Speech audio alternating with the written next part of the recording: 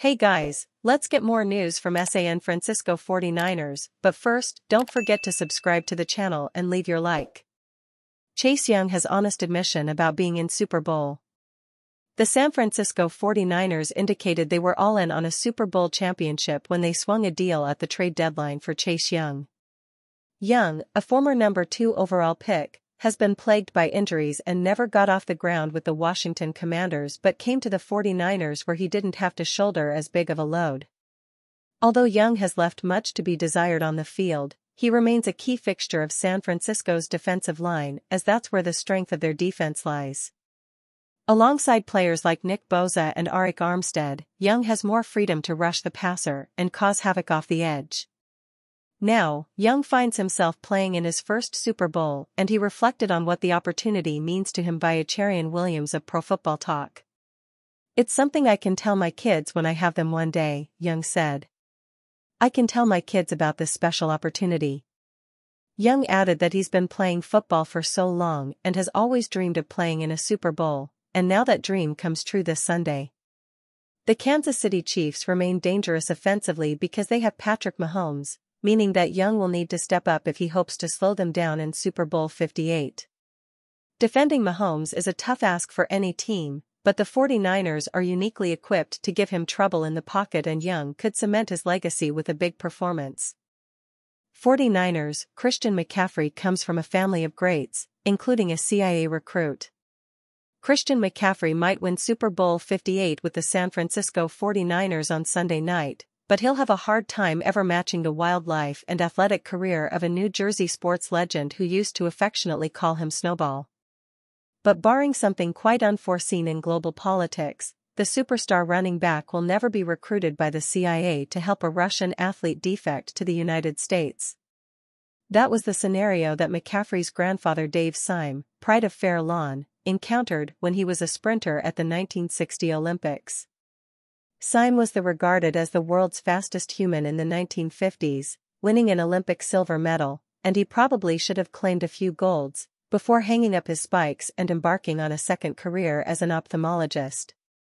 He treated baseball great Mickey Mantle, quarterback Bob Griese and former President Richard Nixon at his practice in Miami, where he had a weekly golf date with longtime NFL coach Don Shula.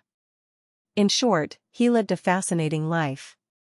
But now, eight years after his death, Dave Sime is known for one thing above anything else, he was Christian McCaffrey's grandfather.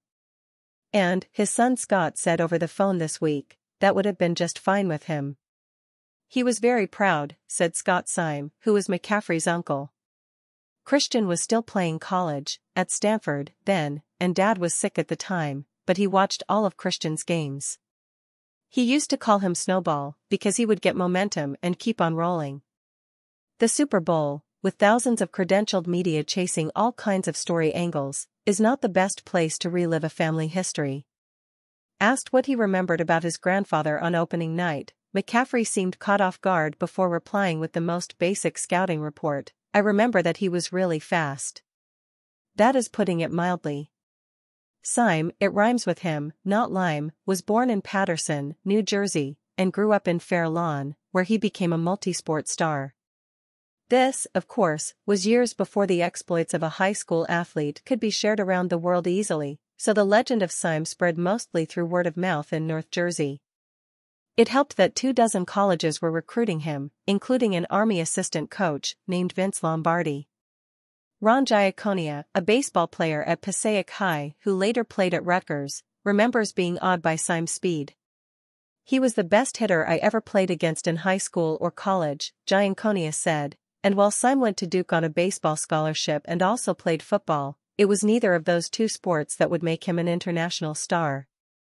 He took up track at Duke because, he once said, I had nothing to do.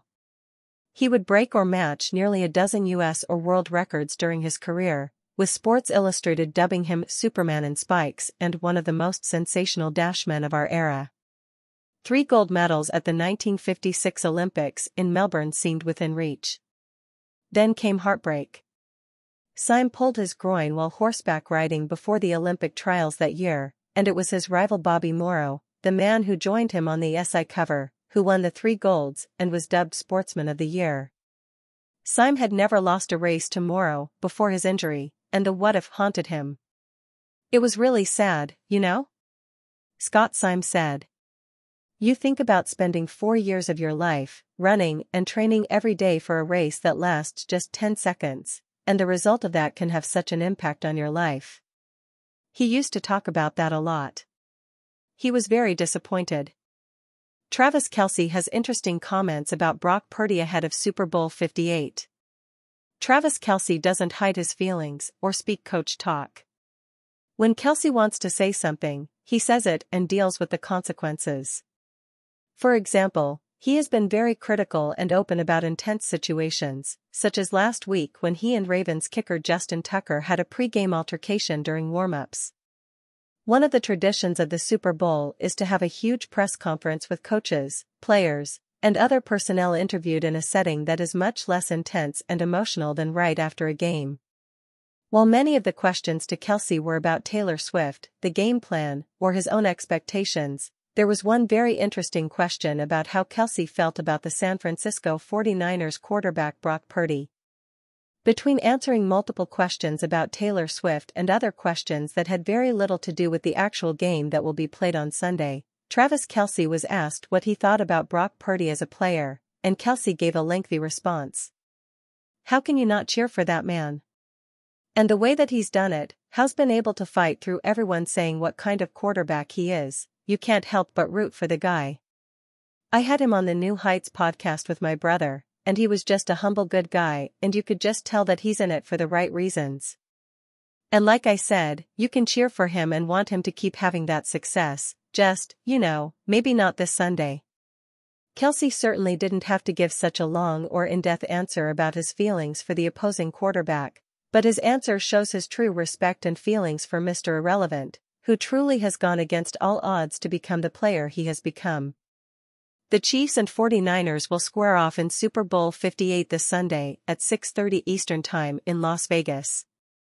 The Chiefs will be trying to win their second consecutive Super Bowl, while the 49ers are seeking their first championship since the 1994 season when Steve Young was the QB. And you fan, what do you think of the Travis Kelce situation? Leave your opinion in the comments.